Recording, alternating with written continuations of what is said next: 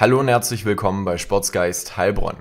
Heute geht es um das Thema der Sensationsgeilheit und warum ich der Meinung bin, dass mittlerweile sehr, sehr viele den Verstand verloren haben, weil sie einfach nur noch etwas schauen, was mit dem jetzigen Thema zu tun hat. Egal ob es die Maßnahmen sind, egal ob es die Ausgangssperre ist, egal was die da oben machen oder auch nicht machen, es interessiert so viele Menschen. Und ich komme mittlerweile von dem Punkt ab, um zu sagen, das ist nicht mehr gesund, was ihr da macht. Ihr wollt nur noch Sensationen, ihr wollt nur noch Aufdeckungen, Skandale.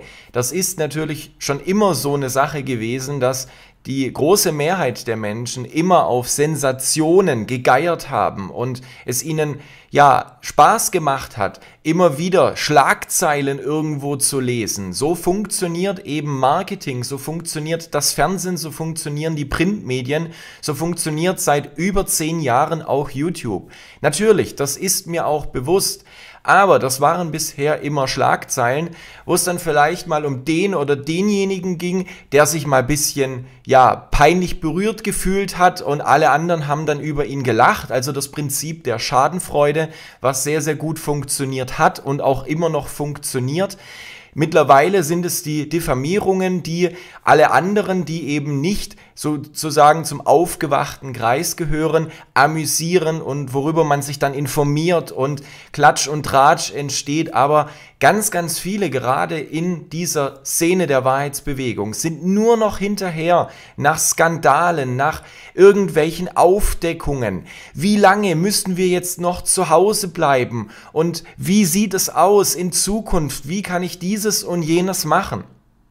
Das wird euch um den Verstand bringen, wenn es euch noch nicht um den Verstand gebracht hat. Warum? Du solltest doch einfach mal dich mit dir beschäftigen und anfangen, mal deine Schlüsse daraus zu ziehen. Deine Schlüsse für die Zukunft.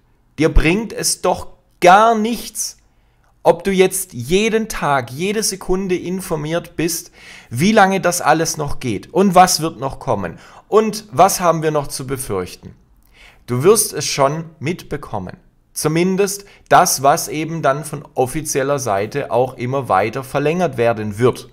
Alles, was darum ist, was jetzt so das Thema Krisenvorsorge angeht, da bin ich ja auch voll dabei und sage, ja, das ist wichtig und da sollte man sich auch Gedanken darüber machen. Aber alles andere, was eben darauf zielt, nur irgendwie zu schauen, wo geht's jetzt weiter mit den Maßnahmen, was haben wir zu befürchten und wie sieht's aus mit dem Thema I-Stoffe? Wie sieht's aus? Können wir uns da schützen? Wie machen wir das am besten? Da kann man präsentieren, was man möchte.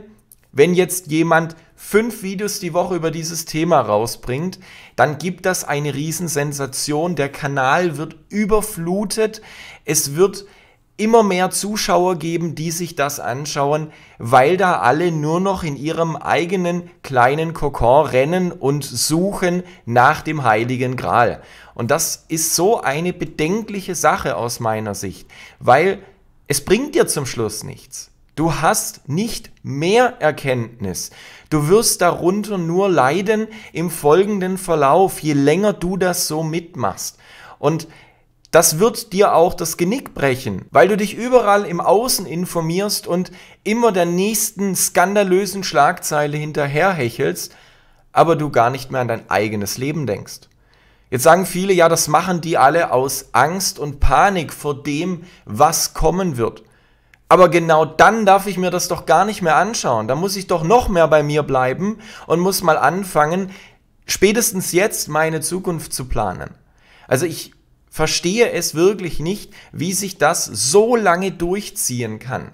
Irgendwann ist doch auch mal gut und irgendwann sollte doch auch mal jeder informiert sein, der informiert werden möchte. Da muss man doch nicht jeden Tag neue skandalöse Aufdeckungen sich anschauen oder die Einschätzung von dem, die Einschätzung von dem, wie es da weitergeht. Das hat doch gar keinen Wert. Und warum ich dieses Video mache, damit ich einfach mal auch eine Ansprache an meine Zuschauer halten kann, weil ich weiß, dass sehr viele meiner Zuschauer genau auf dem gleichen Weg sind und das schon sehr, sehr lange. Und ich möchte da zumindest von meiner Seite aus Verantwortung übernehmen und sagen, lasst das, es wird euch nichts bringen. Macht Vorräte, schaut, wie ihr über einen Stromausfall hinauskommt und das war's. Alles andere, da müsst ihr in euch selbst suchen, was eure Lösung für das jeweilige Problem ist. Hört ihr auf zu arbeiten, fangt ihr an selbstständig zu werden, ganz unabhängig von irgendwelchen Bürogebäuden. Das heißt, ihr macht das zu Hause.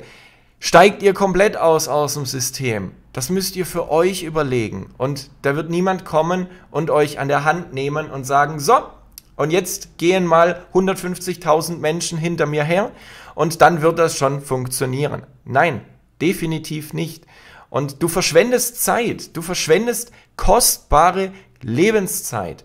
Du hast sicherlich in den letzten Monaten sehr, sehr viel mehr Zeit mit den Medien verbracht, vor allem mit den alternativen Medien, um dort immer wieder auf dem aktuellen Stand zu sein. Rechne dir mal aus, wie viel Zeit das pro Tag war, was das jetzt summa summarum darstellt.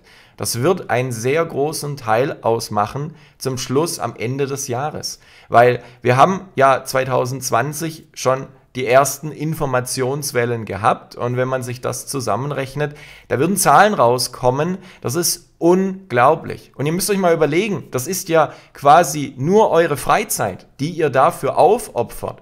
Wenn das jetzt jemand beruflich macht, weil er Journalist ist, weil er äh, sonstige Reportagen oder irgendwas in diesem Be Themenbereich macht, dann ist es ja vollkommen nachvollziehbar, weil das dem sein Job ist. Aber wenn ich jetzt von der Arbeit komme oder mittlerweile, das ist nämlich aus meiner Sicht auch ein ganz großes Thema, die Leute nur noch zu Hause sitzen aufgrund von Homeoffice und viel, viel mehr Zeit haben, sich dann immer weiter zu informieren, Dauer online sind und nicht davon abschalten können.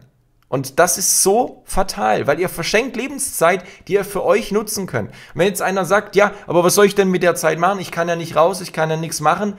Also raus kannst du. Du kannst spazieren gehen, solange du möchtest. Du kannst alles Mögliche in deinen vier Wänden machen.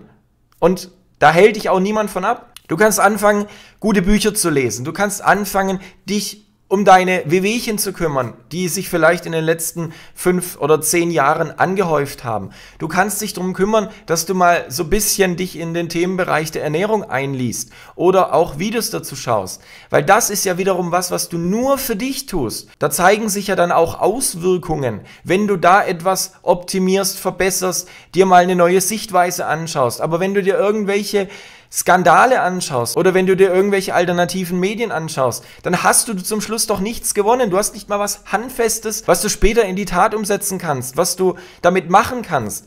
Das sind einfach nur Informationen, die du tagtäglich fast schon süchtig aufnimmst und du davon überhaupt nichts gebrauchen kannst. Natürlich ist es schön zu wissen, dass jetzt vielleicht in zwei Wochen wieder die nächste Verlängerung kommt und dies und das, aber das ist ein Informationsgehalt, den habe ich in fünf Minuten aufgearbeitet. Da brauche ich mich nicht jeden Tag drei Stunden irgendwo informieren oder gar noch mehr, weil ich weiß, dass sehr viele Menschen auch mittlerweile die Arbeit verloren haben und jetzt nur noch auf diesem Weg sind, Informationen, wie soll ich bloß die Zukunft überleben, wie soll ich das bloß alles machen? Indem du bei dir bist, indem du mal anfängst, vielleicht mal dich mit dir selber zu beschäftigen.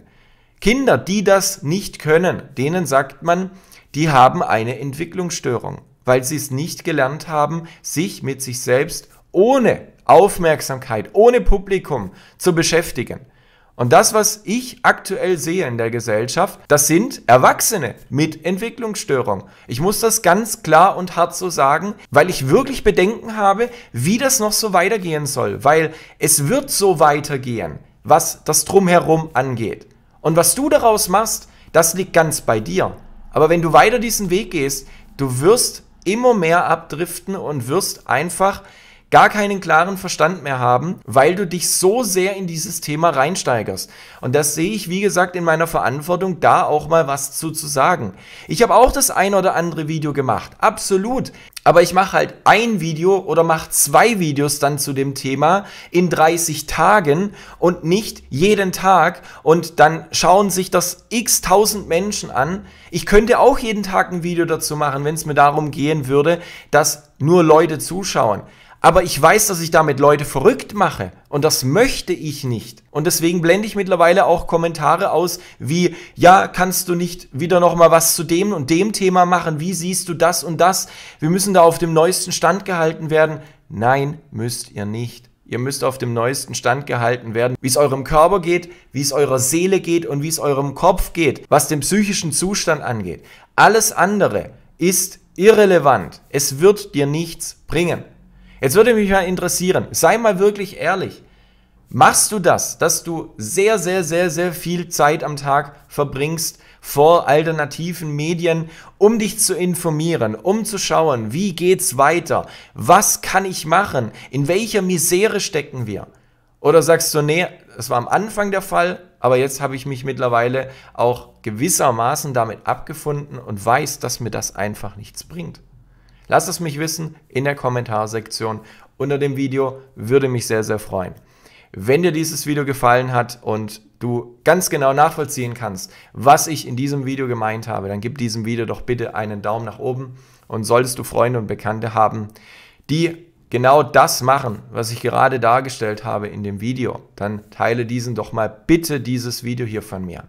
Solltest du noch kein Abonnent meines Kanals sein, dann hol das doch bitte jetzt einmal nach, um täglich neue Videos eigentlich ja zum schönen Thema Gesundheit von mir zu erhalten. Und wenn du schon abonniert hast, dann aktiviere doch bitte die Glocke, um auch sicherzustellen, dass du jedes neue hochgeladene Video von mir auch angezeigt bekommst.